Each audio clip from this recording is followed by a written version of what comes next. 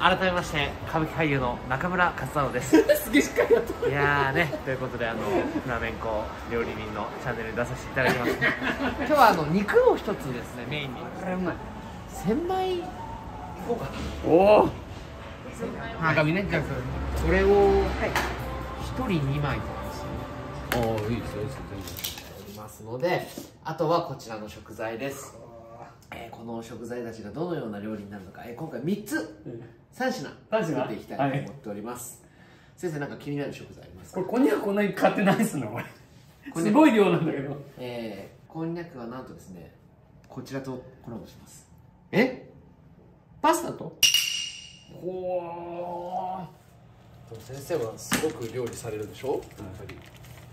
すごくそうですけど君みたいな天才的ないやいや私そんなことないです。よ普通な感やっぱりあの本当にねあの毎年のようにどんだけみんなね忙しくても1回はっていう旅行するっていうね。これが大きいですよね。じうんで必ず最後の日はキッチン付きのね。ね。ところで。ってすごいのよ天才的なマジマジいやそん。なことないですそん。なことあん。まりびっくりするようなあん。まりいやいやいや本当にいいですよこれそれとそれあの組み合わせやん。のみたいな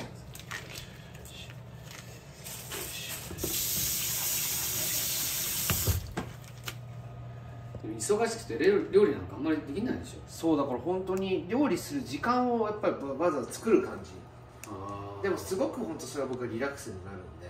そうだよね。そうなんです。ねやっぱり今年は特に地方公演が多かったから。うん。じゃあできないね。そうなんです。じゃあ塩お願いします。そのぐらい軽くで大丈夫です。そんなもん大丈夫こっちも青ネギですね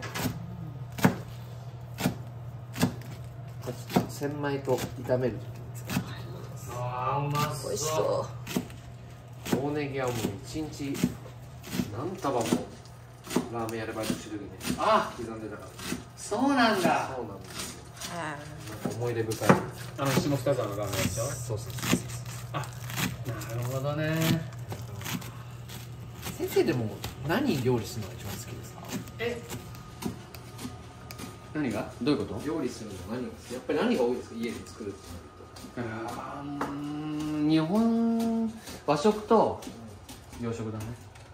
中華とかあんまり作んない。と中華作るの？僕も中華。うん。よし。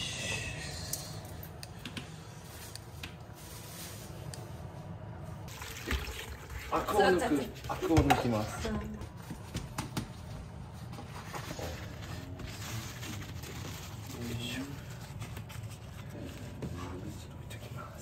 これぶつけるでしょ頭。そう。だからあった全部油分量だね、ちょっと少ないですけどね。何がだしがそれを染み込ませるぐらいちょっとやって、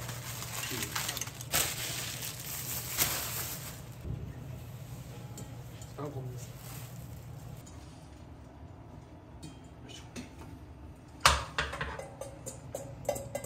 それは何？に分けるこれはもう炒めてこれはあの下敷きにします。はは。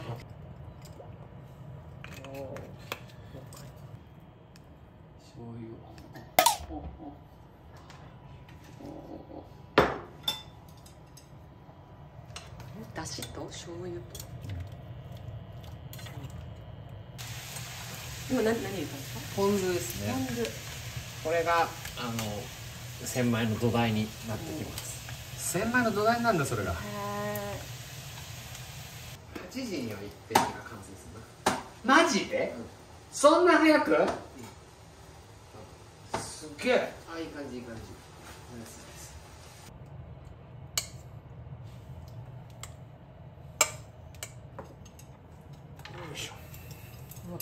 あついに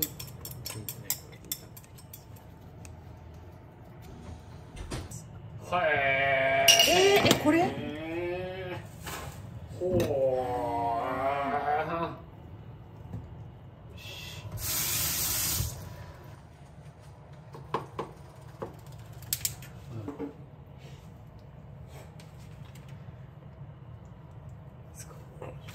なんてこった？煮こごりがお前オレンジの器に盛られてるぞ 何を？毎回もう帰っちゃうから味噌だけどそう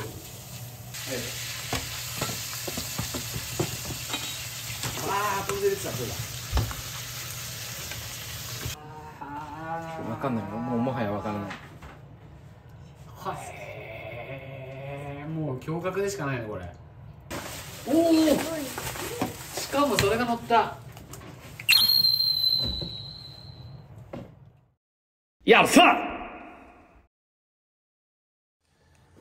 どうぞ。はい。じゃあこれ卵乗ってるところじゃあ。そうです。ね千枚と、えー、を炒めてできのことネギが入ってましてでそこに今日もらった煮こごり。煮こごりね。を沈めて で温玉がかかります。すげえ混ぜつつもそのままで千枚は本当はこっちがいっぱい入ってるんではいこれ余りの炒めたものです、はい。ちょっと見た目汚いけど、はい。はい。意外とわさびがと黒七味が面白いな。なるほど作戦です。はい。いただきます。いただきます。どう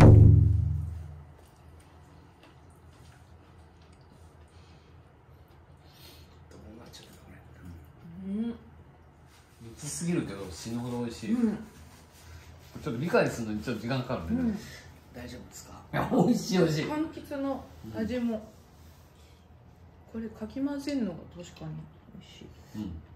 うん。多分なくなって具を足していくとね、うん。なるほど。高級和食だよこれ、うんレストラン。あれお店、うん。お店やってるんですお店やってる ああの2023年あ2月にプレオープあかもうすぐだ。なるほど。もうすぐ。あ本当ですか、この柑橘のオレンジの香りがさらに回ってくんだね。ンそうですね。すごいな。